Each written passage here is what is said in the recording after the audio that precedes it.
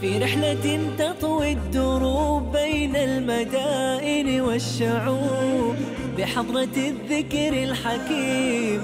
وحدنا رب القلوب وحدنا رب القلوب. في رحلة تطوي الدروب بين المدائن والشعوب بحضرة الذكر الحكيم. وحدنا رب القلوب وحدنا رب القلوب ولحفظ آيات الكتاب. ها قد أتينا كل باب. نمضي على درب الصواب. من قبل أن تجلو الخطوب. من قبل أن تجلو الخطوب. في رحلة تطوي الدروب بين المدائن والشعوب. بحضرة الذكر في حفظك لكتاب الله عز وجل يجب عليك أن تخصص وقتك وجهدك لهذا الحفظ. وهذا الأمر قاعدة من أهم القواعد لحفظ كتاب الله عز وجل. اليوم إذا تبي تحفظ القرآن لا تقول أنا ما عندي وقت. لا تقول يوم أحفظ عشرة لا. لا تجعل حفظ القرآن بالنسبة لك في يومك ثانوي. القرآن عزيز لا تجعله من فضول أوقاتك. تروح تقعد مع واحد يقول أنا ما عندي وقت وأنا أجزم الآن وعلى يقين أن غالبنا الآن عندنا وقت ولكن نخدع أنفسنا إن إحنا مشغولين عن حفظ كتاب الله سبحانه وتعالى. أنا الآن أبي أضرب لك مثال بسيط جدا. الواحد إذا قال لك أنا مشغول وأنا ما عندي وقت الصبح دوام وعندي أولادي وأحفادي وعندي عملي الخاص إذا بعيد عنكم أصاب مرض مرض سكر أو قلب بعيد عنكم راح للدكتور الدكتور قال له شوف يجب عليك إنك تخصص لك وقت تمشي فيه. ساعة في اليوم لازم تمشي عشان صحتك لأن صحته أولوية.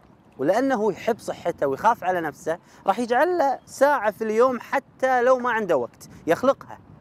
كذلك القرآن إحنا نحبه.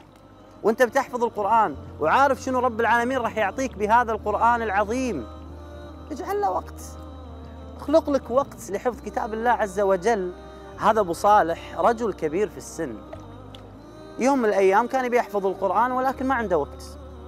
شعر إن هذا القرآن يجب عليه أن يحفظه يبي يحفظ القرآن. شاعر بأهمية حفظه. تدرون شنو الوقت اللي اختاره؟ روحة الدوام من نص ساعة والردة من الدوام. تقول لي شلون؟ هو قاعد يسوق سيارة. أقول لك لا عنده سايق. وقاعد ورا. النص ساعة وهو رايح يحفظ صفحة أو نص صفحة. وهو راجع يراجع ويحفظ له زيادة. وعلى هذا المنوال حتى حفظ القرآن. ليش؟ لأنه جعله أولوية.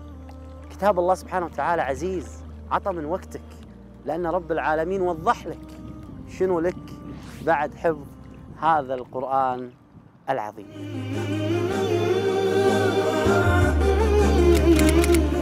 قابلت شابا في جمهورية مصر العربية فقد بصره وهو في الرابعة من عمره.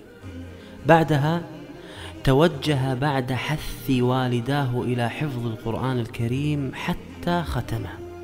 تعلمت من معاذ أن لكل مجتهد نصيب اليوم أتينا إلى رحلة طويلة جدا ومتعبة ولكن أتينا إلى مكان يستحق هذا التعب وهذا العناء نحن الآن في المحافظة الشرقية في جزيرة السعادة كيف حالك يا شيخ معاذ؟ الحمد لله كيف حالك يا حبيبنا؟ الحمد لله،. طيب إن شاء الله الحمد لله. أنتم في جزيرة السعادة وأنا الآن أشعر بسعادة كبيرة أني أجلس معك. الحمد لله. طيب شيخ معاذ نعم. يعني أبي أعرف قصتك مع كتاب الله سبحانه وتعالى. بدأت وعمرك ست سنوات. نعم. كيف كانت هذه البداية؟ والله أنا بدأت هذه البداية وكانت آه، يعني رحلة شاقة ولكن كنت أعلم أنها ستكون في النهاية متاعا للإنسان وفي الآخرة إن شاء الله سيكون القرآن لي شفيعا. لذلك صبر علي والدي ووالدتي وصبرت وتحملت المشقات. ما كنتش أتهاون أبدا في يوم مهما كان تعبان. كان يروح المدرسة الصبح ونطلع من المدرسة على الدرس القرآن. وبعدين نيجي من الدرس نراجع الماضي ونحفظ ال- الربع اللي الأستاذ اداهوله. وكنت أنا عاملة له ماضي في اليوم جزئين. يا يقوم الصبح بدري في الفجر يا آخر النهار. فيقول يا ماما أني تعبان. أقول نبدأ بالقرآن وإن شاء الله يزول العناء. فعثرنا على مولانا الشيخ جمال سعيد ديب آه، وهو يقطن في مدينة الزقازيق. وعرضنا عليه الأمر آه، الرجل آه، رحب وجزاه الله خير.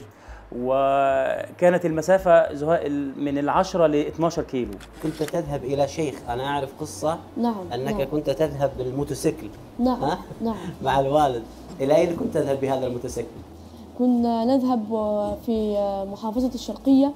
نعم. آه، في مكان يسمى إلى اسمه جراج جراج الأتوبيس نعم. نعم اسمه جراج الأتوبيس كم يبعد عن عن منطقتكم؟ تقريبا؟ الموتس- الموتوسيكل؟ نعم. نأخذ آه، ثلاثة أرباع ساعة نعم ما شاء الله. ساعة إلا ربع تقريبا. نعم. كنت أشرف بركوبه خلفي وكانت الماكينة لها بربريز زجاج أمامي.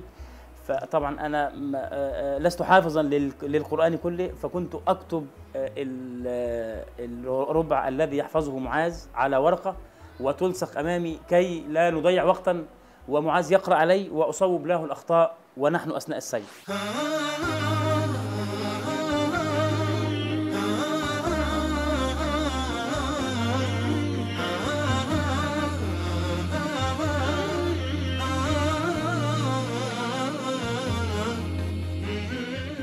وأحيانا كثير نكون نرد يعني. فالشيخ كان لما معاذ يغلط في حتى حكم أو تشكيل يرجع. هل صحيح شيخ معاذ كنت إذا إذا إذا ذهبت إلى الشيخ وكان عندك شيء من المراجعة جزء مثلا؟ آه نعم وأخطأت خطأ أو نعم. وهذا وهذا السفر يعني. انت نعم، ترى نعم،. على فكرة ترى الشيخ معاذ يسافر إلى الشيخ. يعني س- يذهب مع وليس الشيخ هو بجانب بيته ولا الشيخ يأتيه. نعم نعم. هو يسافر يعني سفرا طويلا تخيل حتى يحفظ كنت أذهب إلى الشيخ في ومطر نصف القرآن الأول كم يوم؟ كم, آه كم يوم؟ كم يوم؟ ثلاثة أيام. ثلاثة أيام في الأسبوع. ثلاثة أيام فقط. كنت أتحايل عليه. كان أول أول يوم يومين يومين فقط. تحايلت عليه محايلة شديدة لأذهب إليه ثلاثة أيام وكان يوقفني على معاني شديدة. نعم. يعني كان يمكنه أن يعطيني آية واحدة فقط. فقط. فقط. فقط. هذه المسافة كلها يعطيك آية واحدة. والله كان يفعلها الله أكبر. في بعض الأيام كنت لا ألعب أبدا. نعم. ولكني سمعت أنك عفريت شوي. الحمد لله ربنا أنعم علي. لا هو شال مني البصر سبحان الله والحمد لله وعلى هذه النعمة. أنا في صلاتي لا أدعو أن الله يرجع علي البصر لا تريد أن يرجع الله؟ لماذا؟ لماذا؟ لعل لعل يكون لي حجة عند الله يوم القيامة. فيخفف عني بعضا من العذاب. وأقف بين يديه خائفا متوجلا يسألني ماذا فعلت في القرآن؟ فعسى أن يخفف عني فالله يدخل من يشاء في رحمته. ولكنه أنعم علي بالقرآن. وأنا الحمد لله إذا أردت أن أذهب إلى أي مكان أذهب وحدي. أذهب وحدي فقط. وليس معي أحد. ولكن أبي يخاف علي.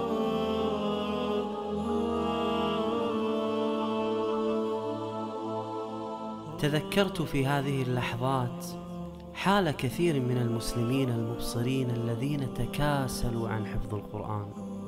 يا الله ماذا ستكون حجتهم عند الله الحمد لله على كل حال ما شاء الله يا شيخ معاذ أنا علمت أنك أنت عندك قاعدة لابن القيم نعم ما هذه القاعدة؟ قال ابن القيم رحمه الله ما أغلق الله بابا لعبد بحكمة. بحكمة إلا فتح له بابا يعني أنت ما تزعل بين أصدقائك إنك أبداً أنت أبداً فقدت. البصر لا لا لا لا في في كنت هنا في يعني الصغر- البعض يشعر في بنقص. الصغر في الصغر كنت أغضب لن أك... لن أكذب عليه. نعم. كنت أغضب أحيانا. لكن الآن الحمد لله لا أغضب. فهذا قضاء الله وقدره. نعم. لأن النبي صلى الله عليه وآله وسلم يقول من ابتلاه الله سبحانه وتعالى بحبيبتين فصبر عوضه الله بهما الجنة. نسأل الله أن نكون من ورثة جنة الفردوس. اللهم آمين. فرت همومي وانشرح قلب مهموم. تليتك كل الأحزان فرت يا محكم القرآن يا مسك ختوم أنفاسي من دونك أبد ما است استقرت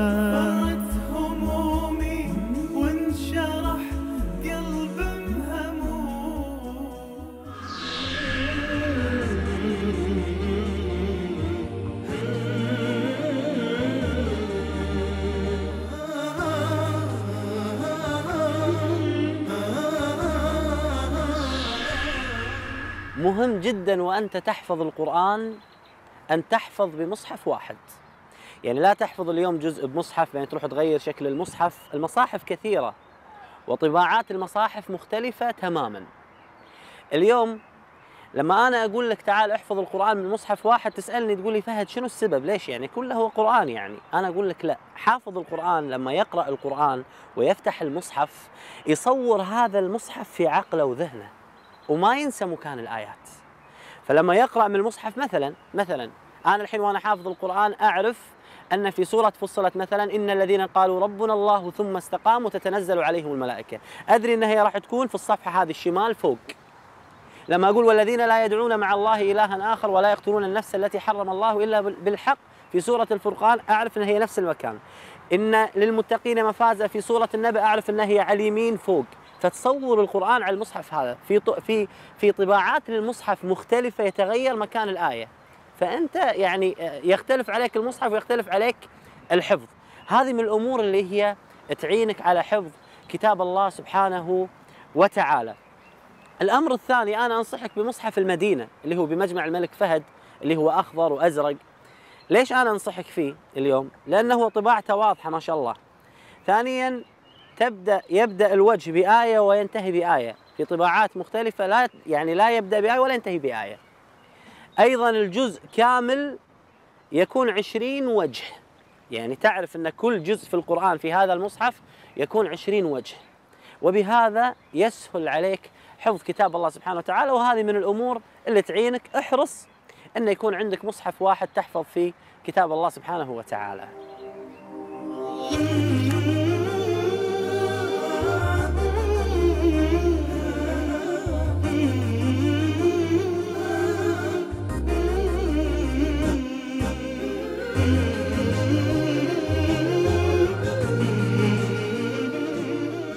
معنا الآن حافظا متميزا خريج هذا المركز مركز الجامع الأخضر الشيخ ولي حفظه الله.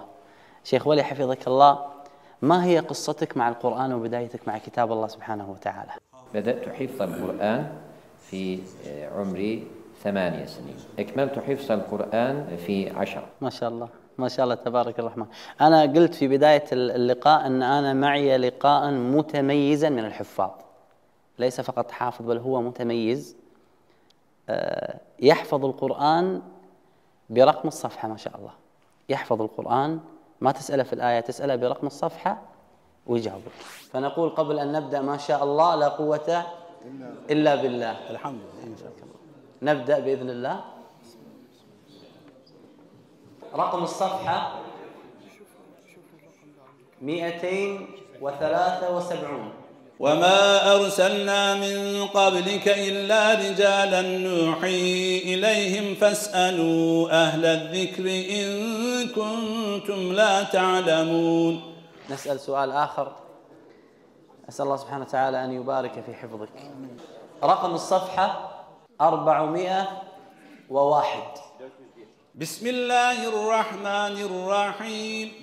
ولما جاءت رسلنا إبراهيم بالبشرى قالوا إنا مهلكو أهل هذه القرية إن أهلها كانوا ظالمين. شيخ ولي كيف وصلت إلى هذه إلى هذا الإتقان؟ ما شاء الله.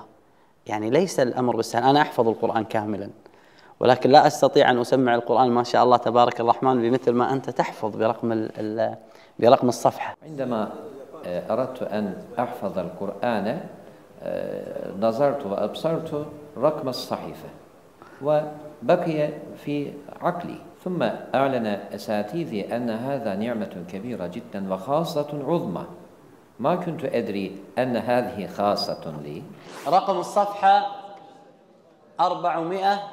الصفحة 451 فلما أسلما وتله للجبين وناديناه أن يا إبراهيم قد صدقت الرؤيا إنا كذلك نجزي المحسنين.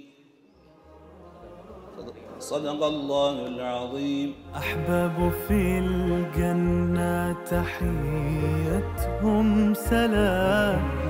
حفظ شرفهم كلام رب الأنام بيرتلوا في الليل وأطراف النهار. يا رب تجعلهم